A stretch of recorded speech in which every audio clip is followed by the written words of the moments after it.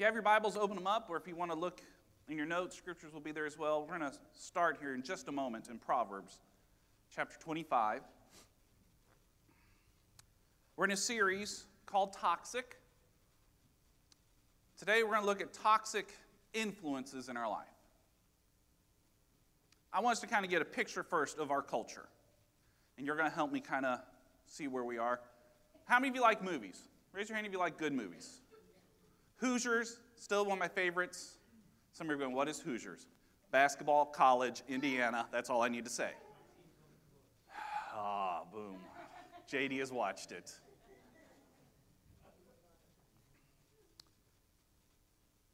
Which one was better? The original Karate Kid or the new one? If you think it's the original Karate Kid, raise your hand. If you think it's the new Karate Kid, raise your hand. Good, good, good. Let me tell you why Cassie would know that the original is better for me. Her name is Elizabeth Shue, and I watched that movie as a teenager and fell in love with her. She never responded back. Yeah, amen. How many of you seen Toy Story 3? Raise your hand.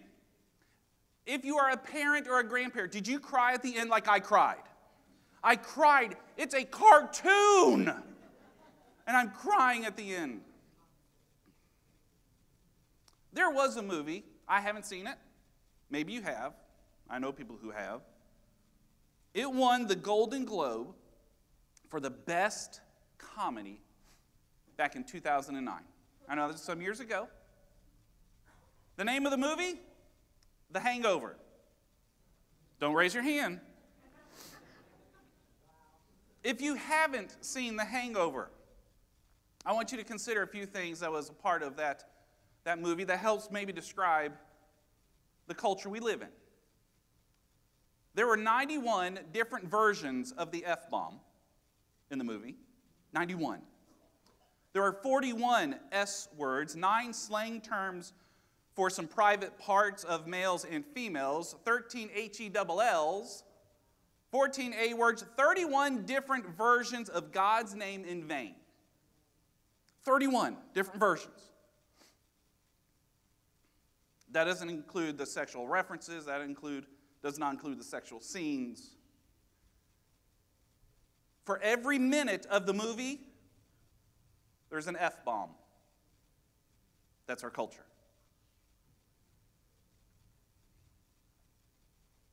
I remember the first time I saw UFC fighting. Anybody, anybody like UFC fighting? Okay, it's okay. Jesus helps us. I remember the first time I saw it, I couldn't watch it. I was like, oh, man, I mean, my stomach got a little upset. I was like, they are, mean, big monsters of men and then little monsters of men. They are pounding on each other. There was one YouTube clip, a guy did an arm bar. I don't know if it's still legal or not, but that sucker popped. It used to turn my stomach, you know, but over time I'd watch it a little bit with one eye, you know. And then I kind of, oh, come on. Yeah. Over time, I've kind of watched it a little bit more and it's become more palatable. Isn't amazing in our culture, as followers of Christ? I love Jesus. You love Jesus. That our standards change over time. You could say that maybe we've been so desensitized to some things that used to turn my stomach, and now I kind of go, come on, smashing. A little confession of your pastor. We live in a culture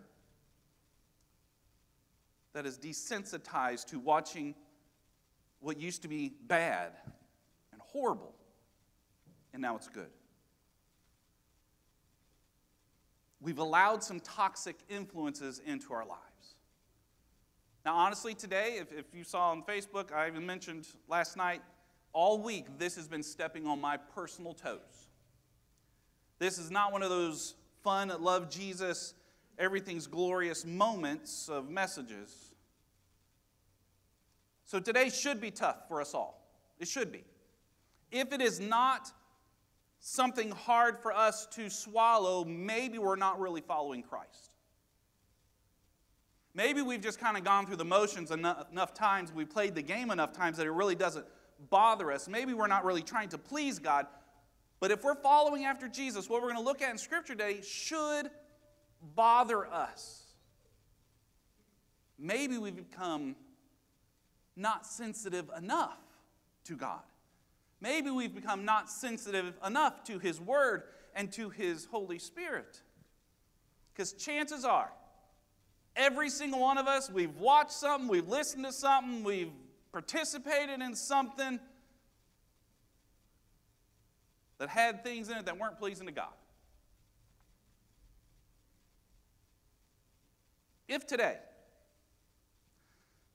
if today in my message I dropped, like in the movie, 91 F bombs, you'd be offended, I'd hope, and I'd be fired. If I did one, you would be offended, I would be fired. We're offended here. How offended are we of those things that displease God when we're not here? Just see the tension that we are in? Because a follower of Christ, boy, it's great on Sunday mornings. Hopefully, all of us love Jesus, we worship God, we sense His presence, but then Monday comes and the rest of the week, and we aren't around each other all the time, and it's just us and our faith with the most holy God. And we can allow toxic things in our culture to influence us. Remember the definition we've used for, for uh, toxic through our series? It's this anything containing poisonous material capable of causing sickness or even death. Anything, anything that can harm us, make us sick, spiritually sick, that can draw us away from God and even destroy our lives. If you're a follower of Christ, I think we all understand there's an evil force in this world. There's the leader of the evil force, Satan, who wants to what? Destroy us. His job still kill and destroy. And he's very sly, he's very deceptive. He doesn't come to you on a pitchfork and horns. We're too smart for that. You know what he does? He starts to groom us. He starts to influence us. Week after week, month, maybe year after year, time over time, just a little bit of this, then, just a little bit more and then just a little bit more of wrong, sinful influences in our lives. Could it be that through all sorts of influences that our spiritual enemy is grooming us so that we take in that which is harmful and we call it good? Ah, nothing's wrong with it, Pastor Brian. Come on, we're okay. Could it be that we are being groomed and poisoned. Now, if I had a bottle of poison right here and pretend I'm Satan, maybe you feel like it this morning, and I say, hey, would you take, drink this bottle of poison? We say, of course we won't. That is the craziest thing ever. But sometimes we allow the poison, the sin of this world, to seep into our lives and to influence us to live a life that doesn't honor God. So, you glad you're in church today? Smile. Smile at someone next to you because it's one of those put the seatbelt on and, dear Jesus, help me through this. Where do these toxic influences come in our culture? All sorts of places. It may be the music, maybe the, the movies you watch, the stuff you look on your phone, the internet sites, the social media sites, the tweets you read, the magazines you pick up the video games you play, the people you allow to speak into your life. Let's look at Proverbs 25, verse 26. And it says this Like a muddied spring or a polluted well is a righteous man who gives way to the wicked. Now, Proverbs is the wisdom. We need some wisdom in our culture. Like a muddied spring or a polluted well is a righteous man who gives way to the wicked. Could it be Today's the day we look at ourselves and are honest with ourselves. Could it be that today, maybe I've allowed my life to be muddied? Maybe I've allowed my walk with God to be polluted because maybe I've given in, oh, it's not that bad, of toxic influences that the enemy of our soul, of our eternity, wants to put on us. This type of message could be very challenging because it could go one of two ways. I'm going to try to keep it out of both extremes. It could go to legalism, a bunch of rules, or it could go to the total opposite way. You just do whatever you want, but I am not going to go on either of the extremes. I want us to look at God's word, and I pray that we just don't shake this off when we leave today.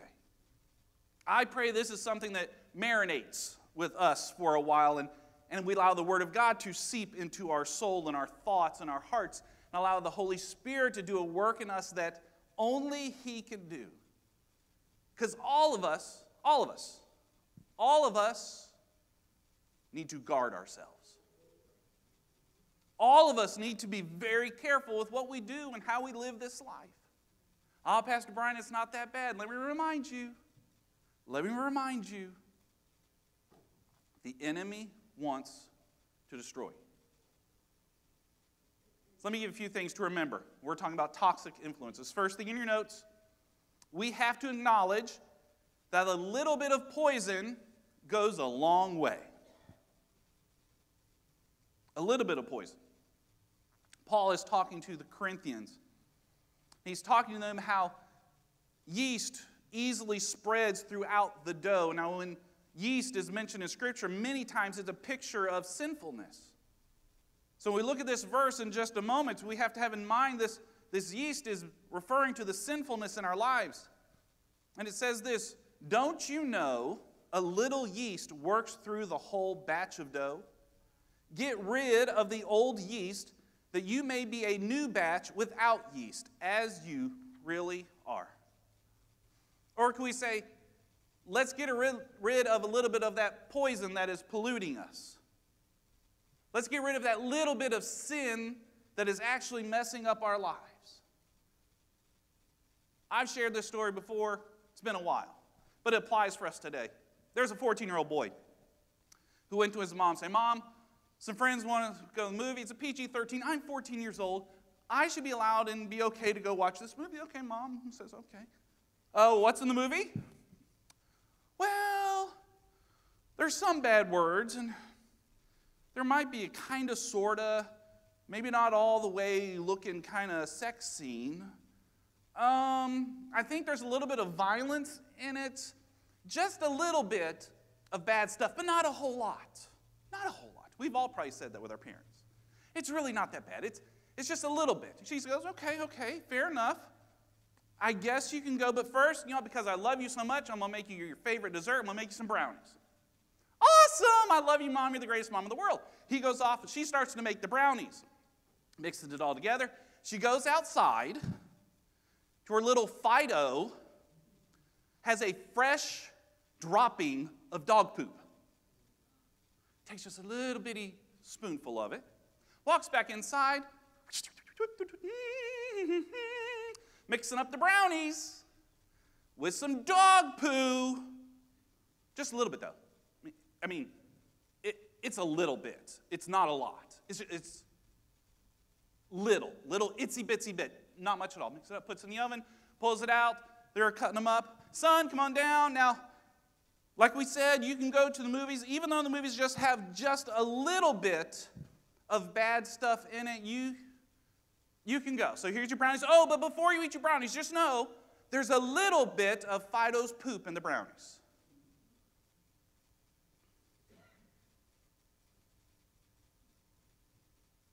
Do we get the point?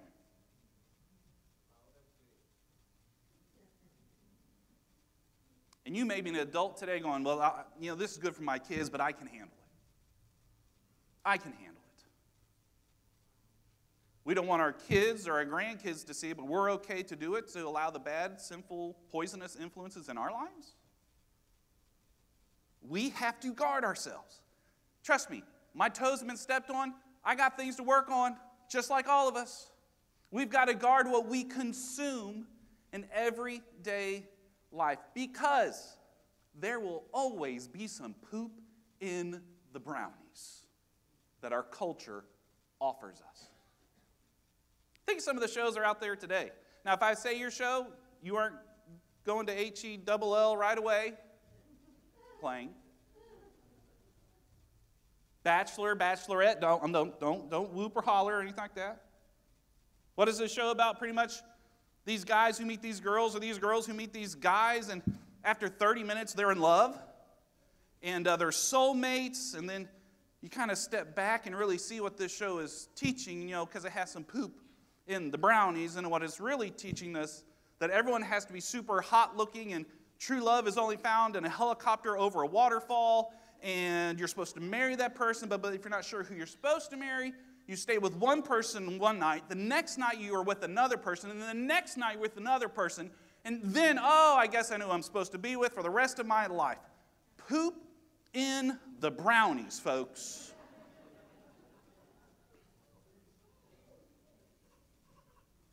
Maybe it's your romance novels. I've never read one. But this is what I understand kind of the gist of it is. You're not happy. The pool boy looks really nice. And things happen. That's the gist, is what I understand. A little poison, it goes a long way, folks. Second thing in your notes. Just because everyone does it doesn't make it right. I might sound like your mama right now, and that's okay because your mama is dead on correct on this one. Briefly look at Romans 12, verse 2. And I want to read it to you from the message paraphrase. The message version, it's not a literal translation of the Bible. Let me remind you of that. It's a good devotional translation. It's a good pictures of what's going on. So in your daily reading of Scripture, the message isn't what I would suggest for you. It's not a literal translation, but it gives some good pictures, and it's a good help in this one. It says this Do not become so well adjusted to your culture that you fit into it without even thinking. Instead, Fix your attention on God.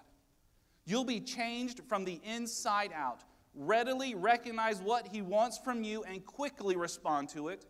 Unlike the culture around you, always dragging you down to its level of immaturity, but God brings out the best of you, develops a well formed maturity in you.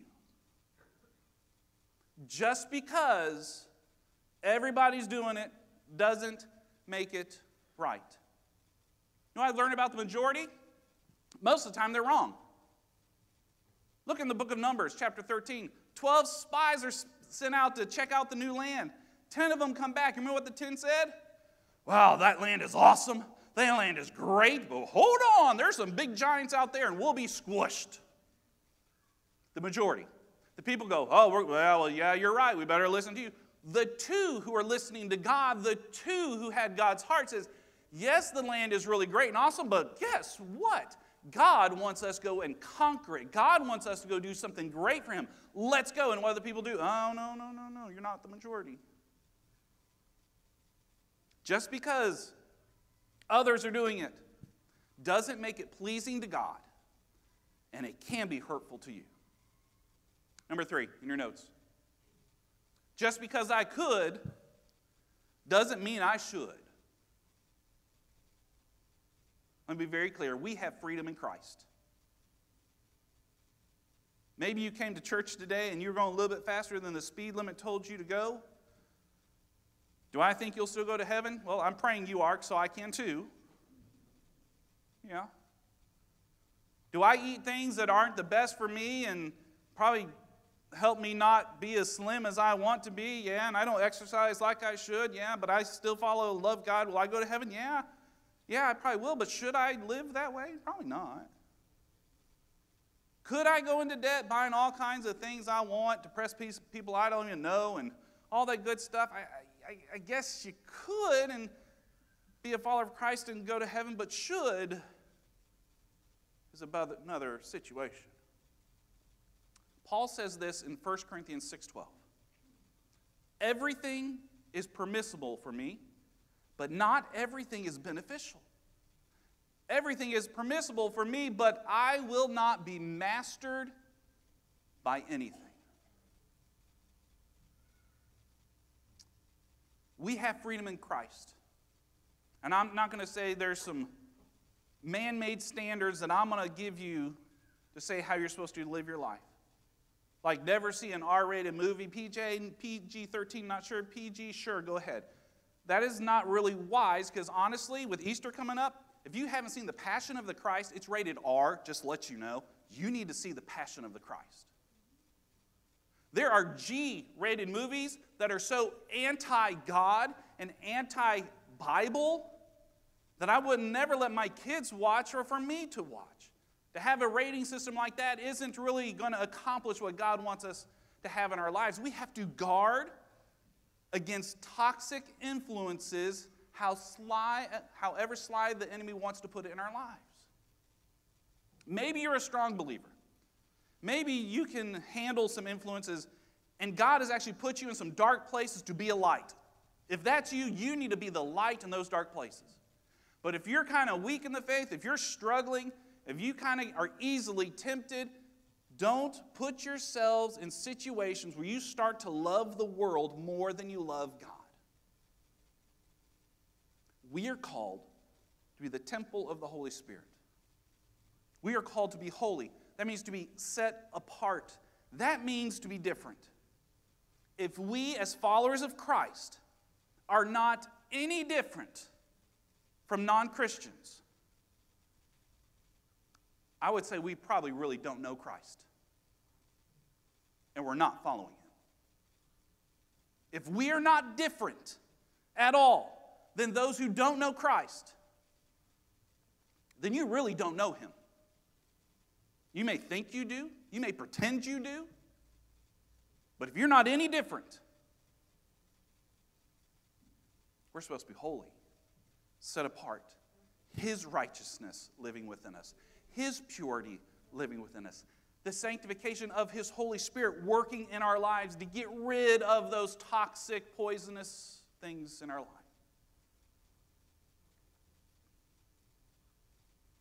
We have to be careful what we consume. You know, sometimes it's obvious. Sometimes it's an easy answer. Friend calls you, hey, want to go see a movie? Sure. What are we going to see? Uh, the hangover. The name alone should give you enough wisdom to say, no, probably not the best thing for me to be a part of. Or, or, maybe you have some friends, guys, and then you know someone's getting married. Hey, they're having a bachelor party next week, and I don't know if I should go or not. Well, okay. Well, what are they going to do? Well, they're going to do a bunch of shots and go to a strip club afterwards. It should be obvious to not put yourself in that kind of situation. There's nothing good that comes out of a poisonous environment in your life. Some things aren't as obvious. Hmm, should I read this or listen to that or watch that or hang out with them? Some people have said, let your conscience be your guide. That's good advice when your conscience says, this is wrong, get away from it. But here's the problem most of the times we talk over our conscience. We argue with ourselves. Oh, it's not really that bad. I mean, it's going to be okay. I can handle it. It's not that big of a deal. There's a biblical phrase that says your conscience can be seared. There are times when something that should bother us doesn't bother us anymore. There are times when we allow influences to come into our life when we know we shouldn't, but we've allowed it over so much time and so much of our lives that our conscience has been seared. It doesn't affect us like it used to affect us. Even though it's bad and it's wrong and it's dangerous and it's hurtful, it's hurtful to us, it's hurtful to the heart of God, we still sometimes say it's not really that big a deal. I can handle it. I'll be fine. I've heard some people say, you know what? This thing over here, it bothers me a bunch. I can't handle that. But, you know, people saying, some profanity, you know, I, I can handle it. I'm okay with it. It doesn't bother me. Just because it doesn't bother us doesn't mean it shouldn't bother us, folks. Just because I'm used to it doesn't mean I should accept it. Just because it's common and the norm in our culture doesn't make it right. If we get to the place where sin doesn't bother us, folks, that's dangerous. We're not going to be judgmental. We're not going to point fingers because we all have the plank in our own eyes before we try to figure out the speck in someone else's for the most part. But if sin doesn't bother us, it says a lot where we are with God. So, how do we deal with toxic influences? 1 Thessalonians 5, verse 21 22, one of the best verses I think kind of deals with this. Say the first two words with me. Ready? Here we go. Test everything. Test everything. We hold on to the good and avoid every kind of evil. Test it. Is this good? Is this bad? Every kind of evil we avoid. If it's sin, if it's wrong, if it's not helpful, if it's hurtful to God, if it's hurtful to me, the Bible tells us avoid it. That is what we are supposed to do. Avoid it, run from it, get away from it. Don't allow it to seep into your soul. So let me give you a few questions before we end today that might help us figuring out is this good or is this bad for us? Number one, am I entertained by sin? Am I entertained by it? The article, the book, the movie. Is this wrong in God's eyes? Am I entertained by sin? I've heard people say, oh, this movie is so funny. Oh, it is, is, is hilarious. It's, it's the best movie. You know, I love funny movies. I love funny TV shows. I love funny people. But if in this moment I said some hilarious in some minds racial joke, it's not very funny. It's wrong. I think it's sinful.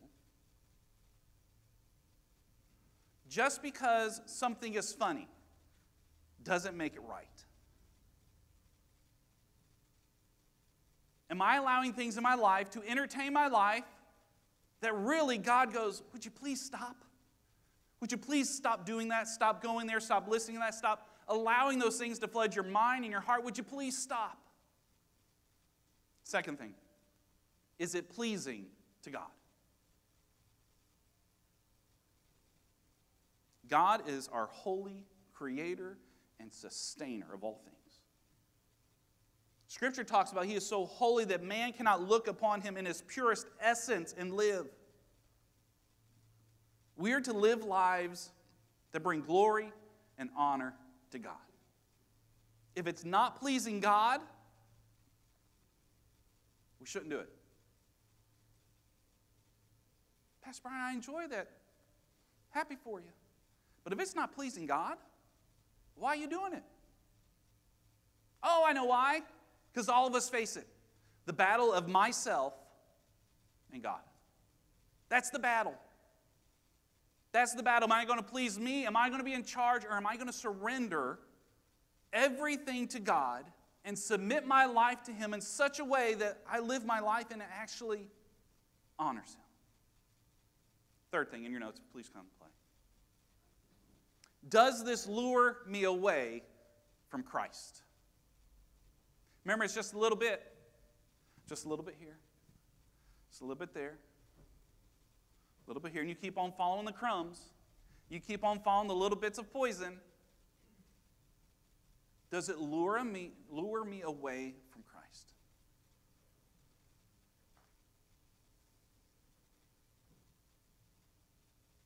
Here's what I think we have to look at ourselves and evaluate ourselves with this. Have I? Have you Have we forgotten the true standard of this life? Once we remember the true standard, God's holy word, we will be able to interpret everything else according to the true standard of God. Instead of my standard being your opinion or my opinion, or the standard of whatever the culture says is good for me or bad for me, the standard for how we're supposed to live our lives is God's holy word. And as the Holy Spirit brings that to life in us. So you might be going, oh, great, Pastor Brian. Now I don't know if I can watch this show or go there. What am I going to do with all my extra time? Let me give you a few suggestions. Spend time with your kids, your grandkids. Serve in the church. Be involved in your community. Mentor somebody. Lead a life group. Open up God's Word and see what it has to say and consume it rather than toxic things.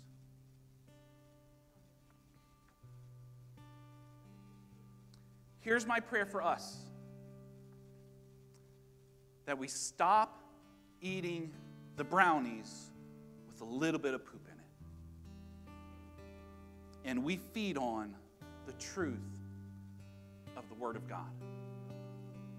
You know what that does? It resets our thinking, it resets our heart, it resets our dreams and our hopes and our plans.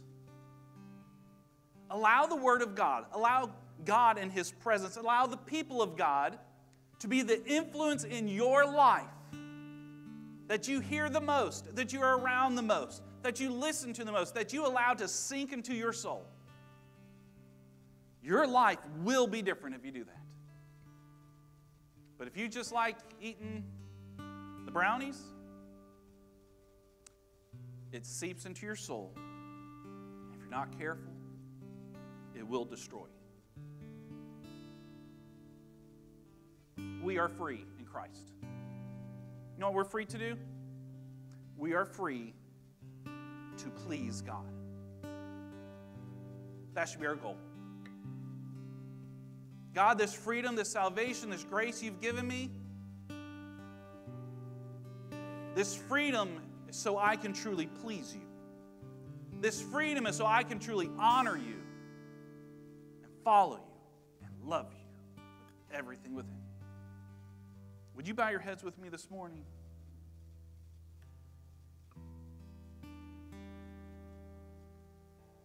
There are some Sundays where my goal is to encourage us in His Word.